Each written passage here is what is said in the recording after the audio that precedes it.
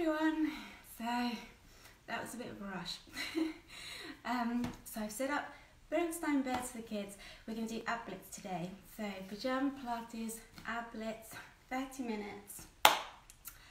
And let's get going. Hi Natalie. um, hi Tilly. All right. Hi Charlotte. So um, we will start laying on our backs. Let me just move these off the sofa. And I'm going to angle down a little bit more. So I'll show the easy versions as well.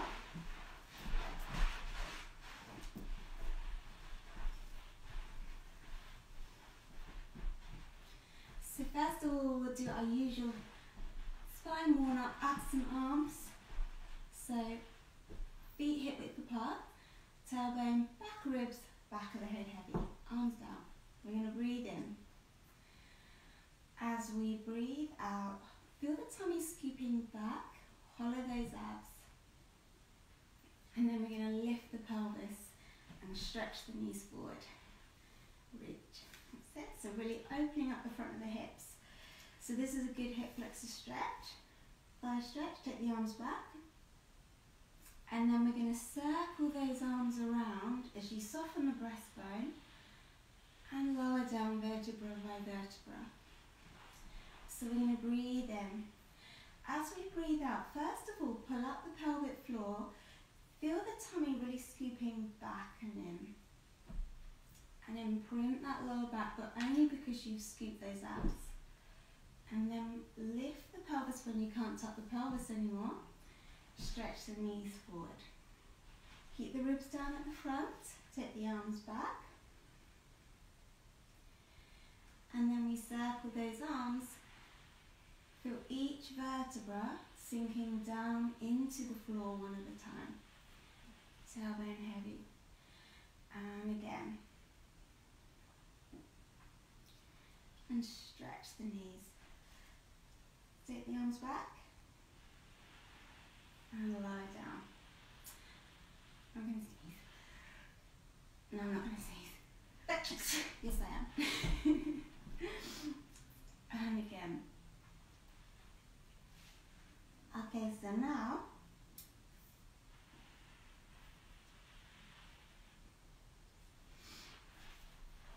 we're going to first of all feel the tummy scoop in as you do pelvic tilt. Place your hands behind your head, interlock those hands, and let your head be heavy. Now, a chin tuck, so you lengthen through the back of the neck. Feel that stretch in the back of the, the neck, but also feel um, the deep neck flexors. It's like you're pushing the back of the head into the hands with that chin tuck. And then release. Do that again. Push the back of the head into the hands with the chin tuck. Keep that chin tuck on the back of the head pushing into the hands. Lift the head slightly. Then below the head and neck, curl up. So we're going to hold that curl up here. And I want you to breathe into the back of the ribs. And then as you exhale, feel each vertebra sinking down into the floor. So we're just doing this a few times just to mobilize the spine. Take a deep breath in into the back side of the ribs, lengthen the back of the neck, lift the head slightly, and then we're just going to curl up. Shoulders stay relaxed. So now hold it here. From this position, I want you just to do, feel the tummy scooping and do a small pelvic tilt like you would with the spine curl. And feel the abs scoop back. And then come back to neutral. But as you do that small pelvic tilt, it's the lower abs that have initiated it, not the hip flexors. So you're not feeling the thighs grip or anything, you're feeling those abs hollow back and slightly imprinting that lower back. And again.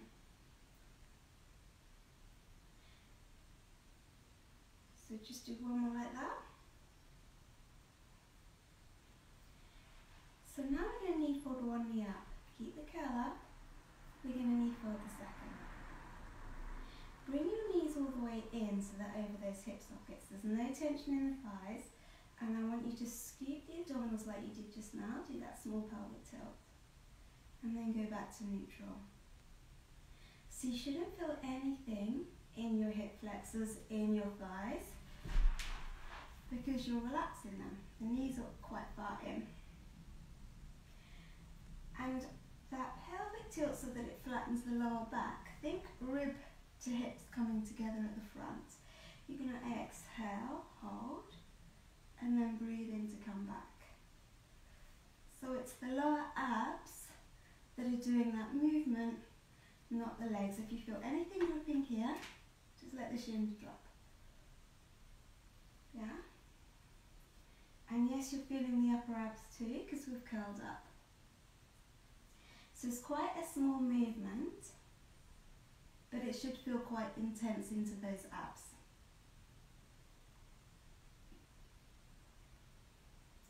Let's just do one more like that. And then lower those legs, uncurl. We'll come back to that one in a minute. We're going to knee fold one knee up. Let your tailbone be heavy. Let the front of the ribs soften down. And then just lift the heel of the toe so we're keeping the pelvis in neutral and the legs again should feel weightless. Now from here, you're just going to toe tap, exhale. And I want you just to feel that weightlessness of the legs. So the way to get that, all the weight is into your centre. Tummy scooping in. And as I lower the leg, they feel really light. So the weight is down into the tailbone, front of the ribs down, back of the head into the floor.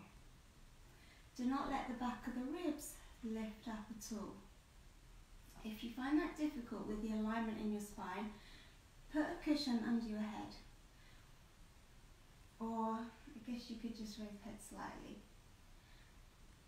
You'll feel the upper abs the higher you curl up and obviously the back of the ribs will be down.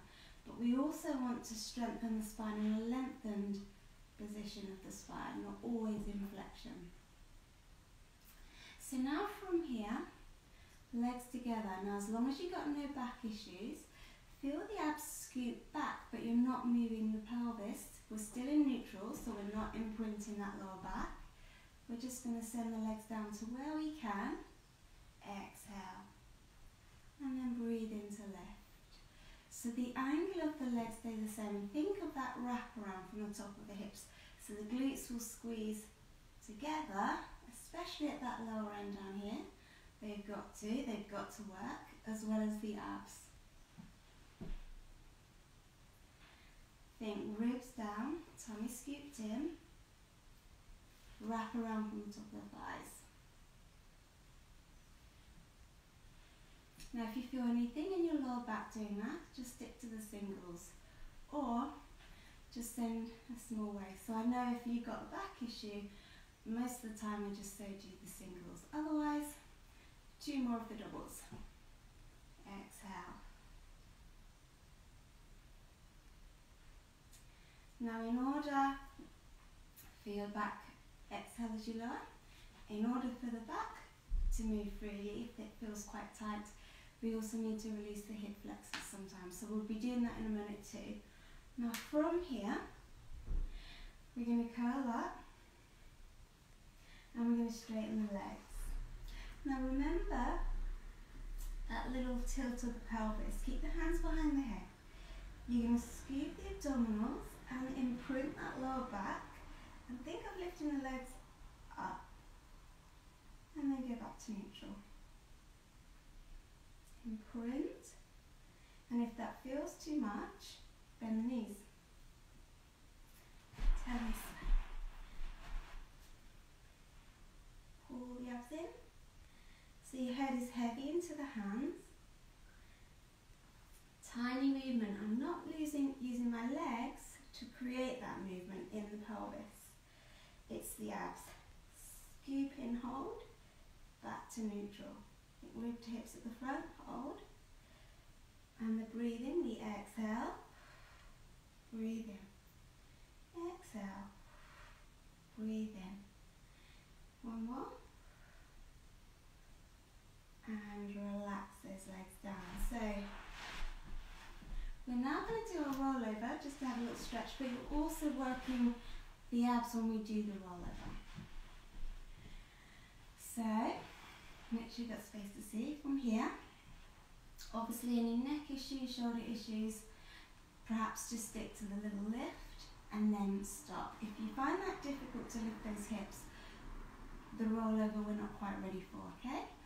Otherwise, round the arms down, initiate with that small tilt, imprint the lower back, and then roll over. So the morning we won't try and take the legs very further. My back feels really tight today, so I'm only going to here. And then flex the feet, hold there, and then slowly keep the legs straight as we roll down. And again, ground the arms down. Hollow the abdominals, little imprint. And we roll. Separate the legs. Flex the feet. Should be able to move the head and neck freely. And if you can take the feet behind, touch the floor, that's fine. I'll get there eventually. and again.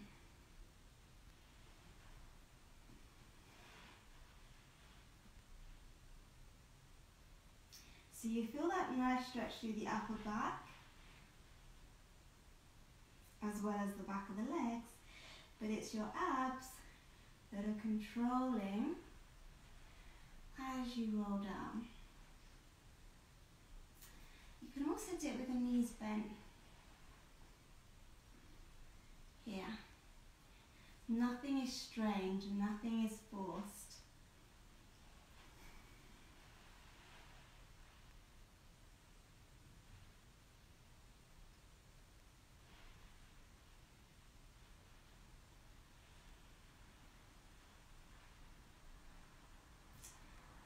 And we're just going to do one more.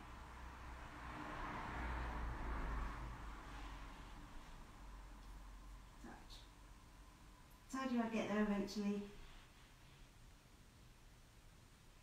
So this really I find helpful in stretching the upper back, the back of the legs. It just feels really nice. But just do be careful of your neck and your upper back if you um, have got any conditions or issues with the neck, just don't do it. Okay, so, so now we've released our back a little bit with that.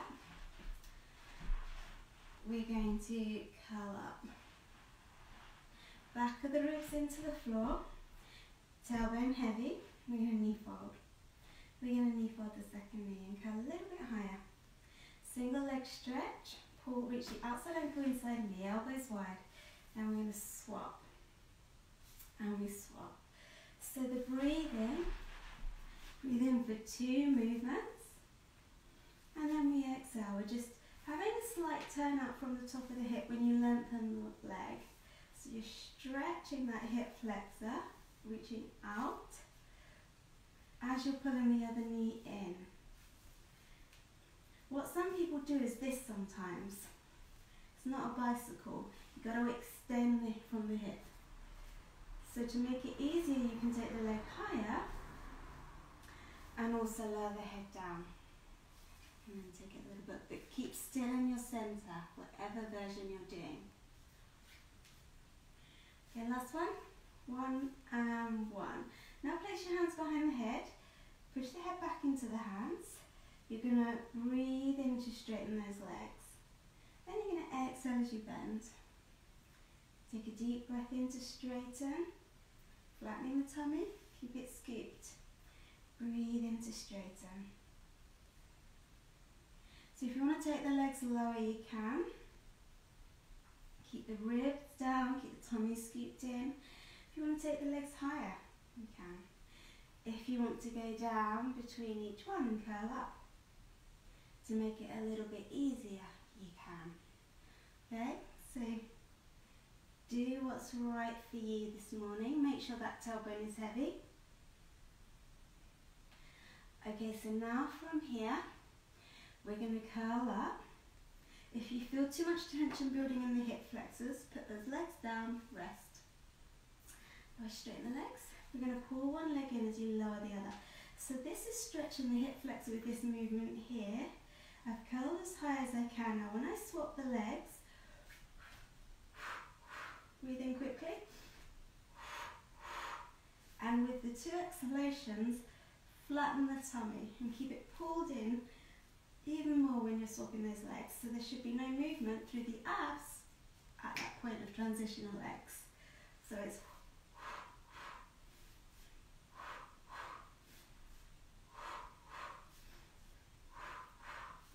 push the leg down. So you're using the back of the leg, the you're focusing on the tummy staying scooped. You've got four more, otherwise, yes, hopefully you know the adaptations by now from looking at all the previous videos. And once you've finished your four, we're going to lower the head down. So now from here, place the hands behind the head, curl up, and we're going to either keep the knees bent with the double toe tap, push the head back, or you can stick to single if you want to. Double toe tap, and then we come back up. Now, advanced version, squeeze the, wrap around top of the hips, heels uh, slight turn out in, in the hip, squeeze, pull the abs back as you lower those legs, and breathe into lift. Now when you're doing this, back of the ribs do not move. They stay into the floor. Yeah? Because if they don't, you can potentially hurt your back. Ribs down. Inner thigh connection. And I'm not forcing my lower back into the floor, but I am extending the hips, squeezing the glutes, which will slightly flatten my lower back.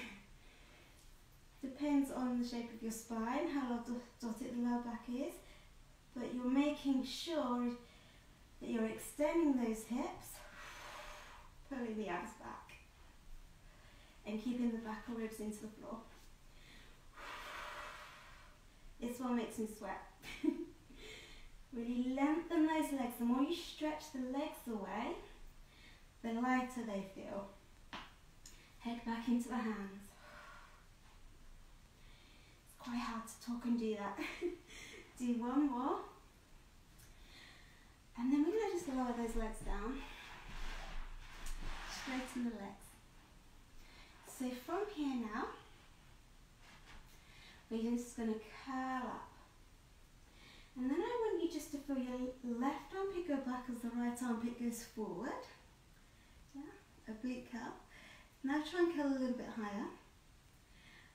So now bring your left knee in towards that right elbow, opposite armpit towards the knee. And then curl a little bit higher. Now stretch your right leg away. So left knee into the right elbow, right leg away. So then you feel the stretch in the hip flexor on that lengthened leg. Lower it all the way down. Other side. Curl as high as you can. So twist through the upper body through those lower ribs, tummy pulls back. And then opposite arm armpit towards the knee, look at the back elbow, and you curve forward more.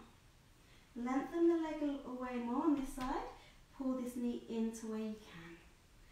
Obviously, any hip replacements, you're not going to bring your knee in past 90 degrees. Yeah. Curl up.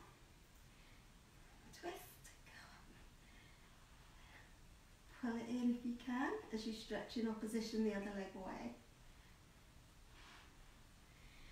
And carry on the sides. I'm going to show you here.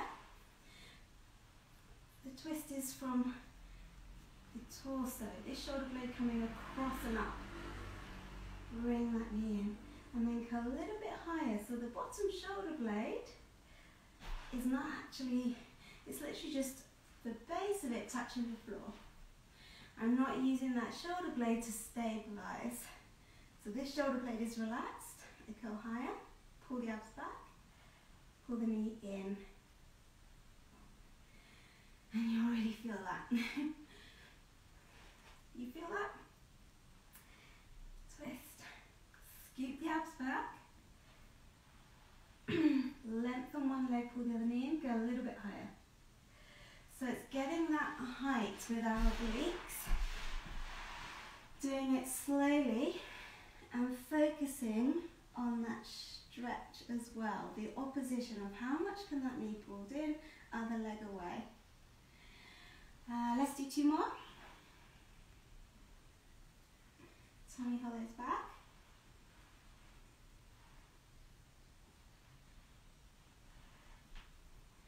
So this is how we stretch with Pilates as well as work up abs. Good, and relax. Well done. So now from here, we're going to come onto all fours. Hands directly underneath the shoulders. Give the wrist a little twirl if you need to. Now from here, Fix those shoulder blades on the back of the ribs. So don't let them move. Keep them down away from the ears. And we're going to just straighten one leg, tuck a toe under. And then you're going to straighten the other leg, but without any movement in the pelvis or the shoulder blades. And you're going to slide one leg back in. Really feel the abs pull up as you do that. And then slide the other leg. And again, so there should be no movement through the lower back. Engage the abs. Feel the glutes, the back of the leg engage on that leg that slides. That's it. Push into that foot that's onto the floor. Tummy pulling in, push into the hands as well. The other leg should feel really light to slide away. Slide one leg back in, and then slide the other. And again, so how much stability can you have in those shoulder blades, in the pelvis, tightly still in your spine, your ribs, shoulders, as you freely move those legs. Really pull the tummy up into your spine. So you can stick with that one if you want to.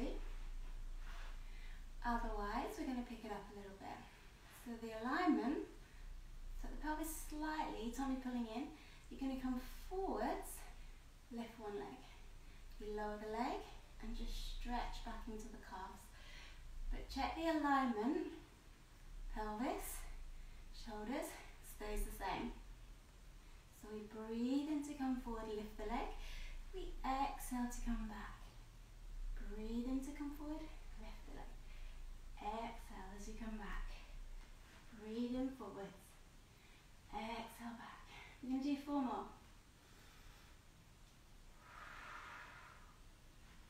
two, three, keep, make sure the head doesn't drop down, four, and then bring one leg in and bring the other. Good. Now flex that spine, scoop the abs up, keep that flexion in the spine. Let the head, slight chin tuck. We're just going to sit back and then rock forward. Keep that tuck in the pelvis, tummy hollowing in. Breathing, you exhale back. Breathe in forward. Exhale back. Breathe in forward. Exhale. And exhale. So hopefully your back will feel a lot more mobilized after this session. Two more. Remember, you're really pulling the tummy in to the spine as you do those movements. Alright, so next variation. Now, um, if you've got any problems with the pelvis or anything, you know we can always do easy version. Otherwise, um, or I, am going to get the, we're going to be in this, um, this position here, and we're going to bring the knees in to the centre. We're going to bring the knees elbow to elbow, and then you're going to bring the knee across. Symphysis pubis dysfunction, you will not be doing that.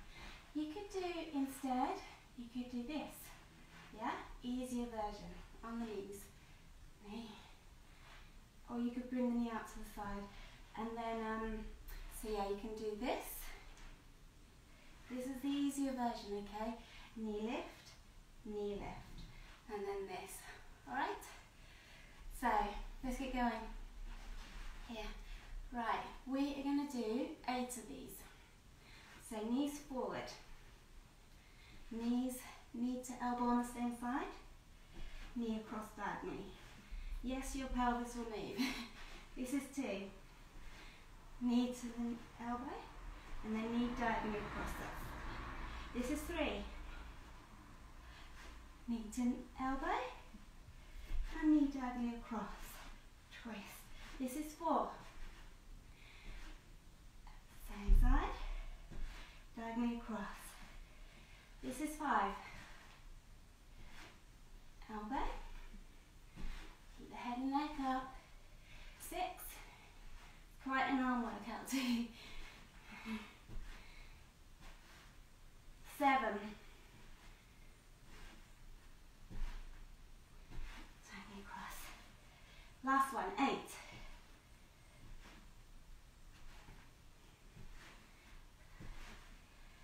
And relax. Ah, feel it in my arms today. Let's roll up. Circle those shoulders. Good, well done. So now from here, we're going to give those forearms a little bit of a rest. We're going to come to our side. Let me check how the time is. Oh, wow, it's gone quick.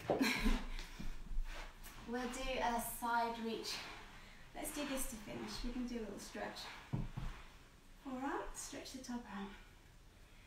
And rotate the chest down, let the head drop.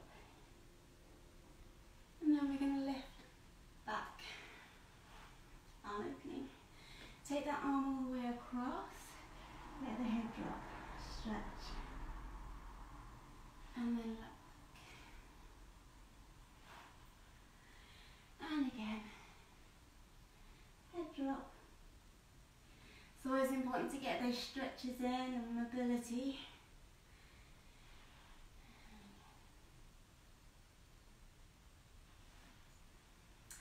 So I've got three hours of Zoom classes today.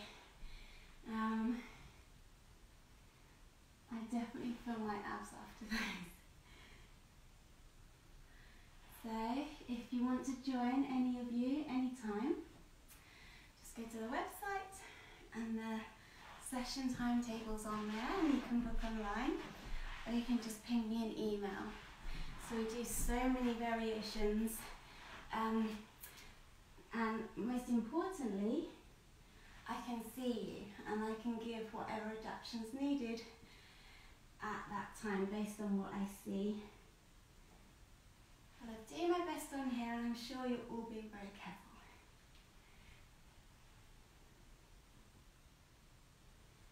Breathing into lift and then exhale.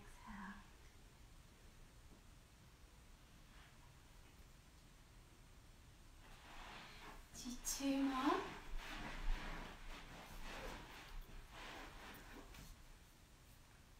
And relax there. Good. Well done, everyone. It's seven o'clock already. Um, so there we go. There's our little blitz.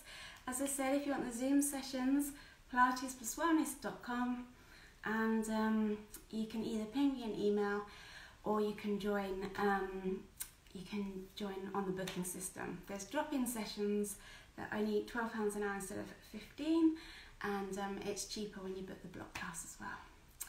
Okay, so thanks for joining. Have an amazing day, and I'll see you all tomorrow.